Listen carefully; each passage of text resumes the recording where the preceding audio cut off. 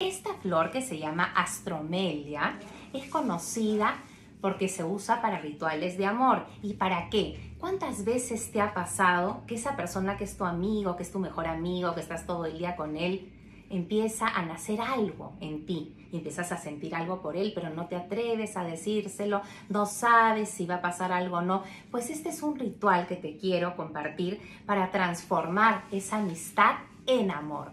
¿Qué es lo que tienes que hacer? Vas a rociar siete veces de esta manera tu perfume personal sobre un ramo de estas flores pensando en esa amistad, pensando en esa persona y repitiendo siete veces su nombre en tu mente. Y luego lo vas a colocar como adorno en tu habitación.